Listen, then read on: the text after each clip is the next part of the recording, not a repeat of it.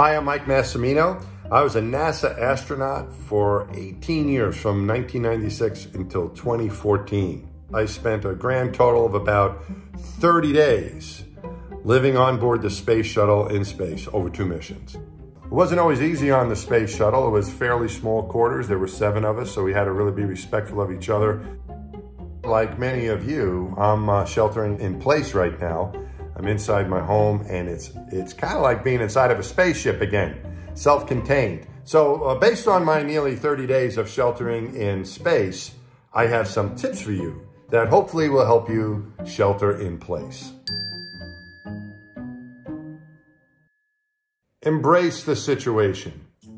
I remember learning this from uh, John Blaha, who was an experienced astronaut. When I was a brand new astronaut, he spent some time on uh, Space Station Mir. And he described his mission as almost like a first half and a second half.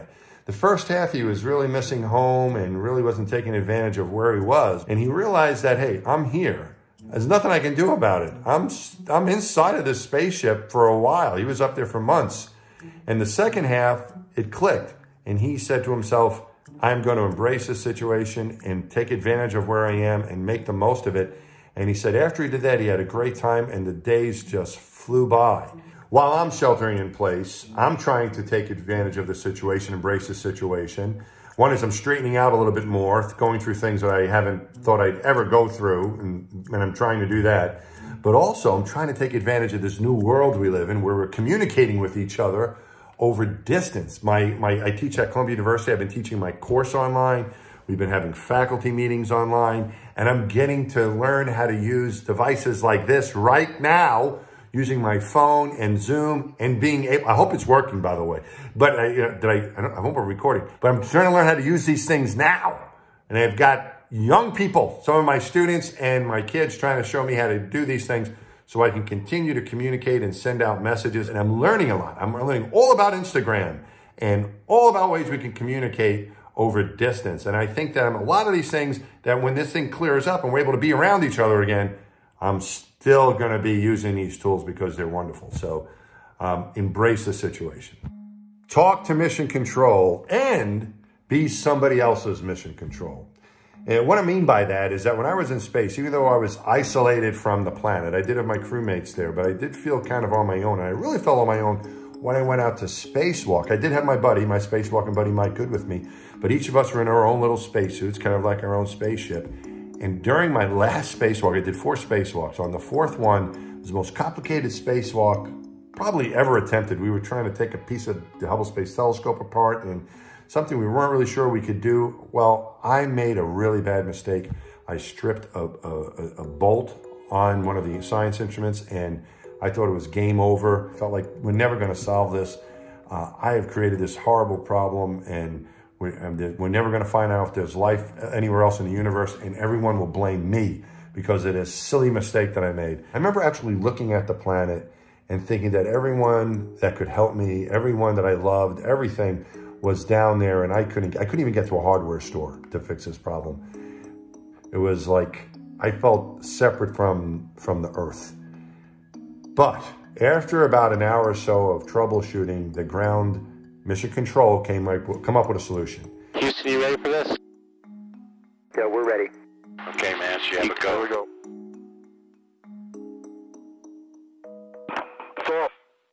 The uh, top half of that handrail uh, was freed by the fasteners being uh, released uh, very easily. The lower one, one of the uh, fasteners did not come loose, and uh, Mike Massimino used essentially brute force to remove the uh, handle at the lower portion. It is now uh, free.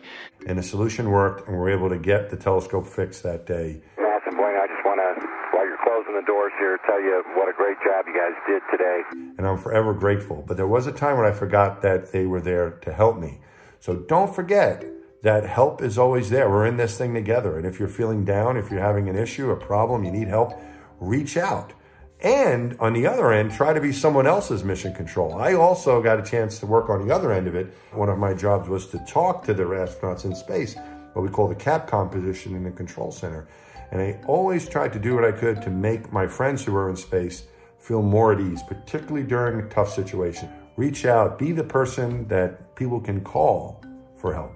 Be their mission control. And don't forget, your mission control is there to help you as well. Exercise. Exercise is uh, very important in space. Even on the short missions uh, that I was on. Longer missions, it's really critical because in zero gravity, there's no load on your muscles. You can lose bone mass as well. Bone density can go down if you're not exercising because you're floating around. On the space shuttle, when I was flying, we did have an exercise bike called the ergometer, and we were able to ride that thing to get a little bit of exercise. We also had some TheraBands that we could stretch out and get a little resistive exercise in, upper body, even lower body. And I got the spacewalk. So we did a lot of spacewalking, and that was complete exercise the whole time. Exercise, I think, for our missions was just as important for your mental well-being as for your physical well-being. And I think it's the same thing here on earth at these times. I think it's really important to try to get your exercise every day, whatever that means. I've set up like this kind of wacky sort of gym in the basement with a few weights and I don't have a. I, I like going to the gym. That's not happening. Actually, to be truthful, I don't like exercising at all. Uh, but getting outside, we can still run. We can enjoy the outdoors, take the dog for a walk, take yourself for a walk. It always made us feel great in space. Even just getting 20 minutes of exercise on an exercise bike. So get your exercise. Enjoy the beauty around you. I think sometimes we get so wrapped up into what we're doing, what our chores are, or task, or whatever it is that's occupying our brain, we forget to take a second and look around. And this happened to me on my last spacewalk, my fourth spacewalk. I was done a little bit earlier than my spacewalking buddy, Mike Good, was, was still doing some work near the telescope. And I said, well, I said to myself, I'm going to go to the airlock and start getting things ready for us to go inside. And while I'm doing this, my good friend, one of my best friends, Scott Altman, our commander, comes over the com loop and he says, hey, Mass, uh, that's my nickname. He goes, hey, Mass, uh, what are you doing? And I said, well, I'm inside the airlock getting ready to come in. And he goes, is there anything you're doing now that can't be done later? I said to him, no, I'm just trying to get ahead. He goes, well, why don't you stop what you're doing and go outside and enjoy the view? I want you to take a look around because your uh, spacewalk with Hubble is about to come to an end. We're bringing you in as soon as you close the doors.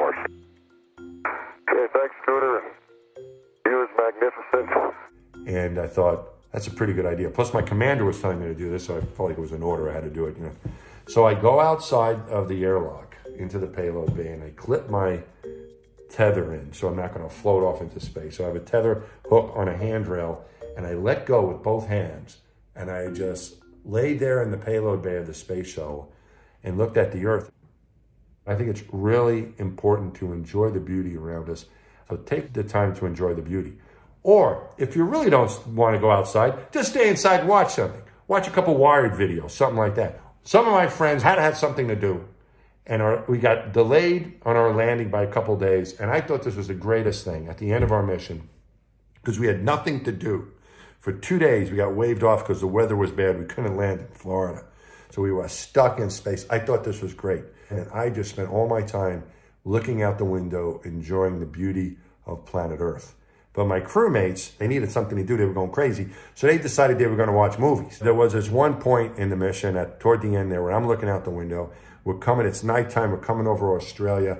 I can see the city lights in Australia. There was a, a thunderstorm out over the ocean and I could see the lightning lighting up the clouds. It was just magnificent. And right then, one of my crewmates, Drew Feustel, yells up from the middeck. He goes, hey, Mass. I go, what? He says, uh, come on down. I go, why? He says, we're about to watch Nacho Libre. You know, the movie about the wrestling with Nacho Libre. And I thought, I thought to myself, there's no way. That, and I said, I'll watch it when we land. I'm looking at something right now. And uh, they were off watching Nacho Libre and I was looking at the mag most magnificent sight that was just outside our window. So my recommendation to you is, yeah, you can stay inside and watch a movie if you want to do that, but don't forget that there's a lot of beauty in our planet just outside your window. Pursue meaningful distractions. So, and I, I want to stress meaningful if, if at all possible.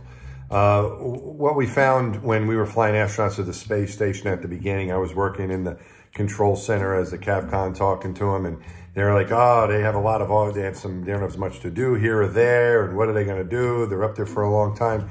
And uh, so there was different ideas, like they could take inventory and count how many bags of ravioli they have left, stuff like that. That's not necessarily very meaningful. What uh, we found was uh, a better activity to do was to come up with a hobby, something that you really enjoyed in your free time when you're up there for that long. So a lot of the astronauts on the space station got into photography. I mean, that's like the, the best thing you could do probably up there. We have some great cameras. You have the most beautiful scenery you've ever seen looking down on our planet. And so they got into photography and different techniques and how to do the uh, time lapse stuff. So you can do orbits and fly into the aurora. Some got into doing artwork, some got into playing music. But you, you want to have something that you find to be what I would say a meaningful distraction. So find yourself a meaningful distraction. Put the time to good use. Stay connected. I think we have lots of ways now uh, that we didn't have years ago to help us stay connected to what's going on and to each other. Uh, in, in space, we were concerned about being far away and not connected with what's going on with the world and our families. But we were able to do things like email. And just like a computer at home, we have computers in space. I'm checking our flight plans, see what we need to do, and I also can check my email. I've already got some email from my wife and my kids, and it's great to be able to stay in touch with them like this. Video conferences and social media. I was the first one to ever send a tweet from space, and I was thrilled that they asked me to do that because it gave me a way to help with staying connected. I could share what I was doing. So I think that that's really important. Check in on people that uh, that you care about, and also tell them what you're doing. Share your your day with people. Let them know what's happening. Stay connected. Being back on Earth. An interesting transition. Um, I was so concerned about my mission for so long, for years, and then it we we flew the missions, and after each one, I was uh, happy that they went well, and I was a little disappointed that they were over in some ways. And you get back to Earth, and you start realizing the things that you missed. And what I thought about when I was away, when I was in space, I thought a lot about my family. I missed things like the weather. There's no rain or wind or snow or anything like that in space. It's beautiful, but you, you miss some of those things. And so what I found is after I got back to Earth, I just wanted to be around people and just was so grateful that I was back and I could be doing the things that I really enjoyed and around the people I really loved again. Uh, I never complained about the weather anymore either. I, I kind of like the rain. We don't have that in space, but we have it here. And we kind of take it for granted, I think. Um, I think this is kind of similar to that. Right now, I'm supposed to be at opening day at Yankee Stadium as I'm talking to you. He's not even playing any baseball games, and who knows when we're going to get a chance to do that. And I haven't been around a lot of my family members, and I miss a lot of people and big public gatherings. Um, I miss all that stuff, and I'm sure you do too. But we're going to get over this. And I hopefully what it'll do is help us to appreciate what we have during our good times. And remember what it's been like now, all those things you miss. When you get back to doing them, make sure you really enjoy them and don't take them for granted any longer. That's one thing that I learned coming back to Earth. As an astronaut, the way I found the best way to prepare for missions and to do things was to hear from other people that had done them and what their experiences were. So please, we have a comments section underneath all of our videos, and we would really appreciate if you gave us your comments about maybe what you learned from the video, but also how you're coping with your sheltering in place, because we all can learn from each other and help each other out here in this situation. And uh, also, uh, remember, subscribe to Wired. It doesn't even cost anything. You can watch all these videos and you can spend your time in isolation watching a bunch of Wired content. So please let us know how you're doing and thanks for watching.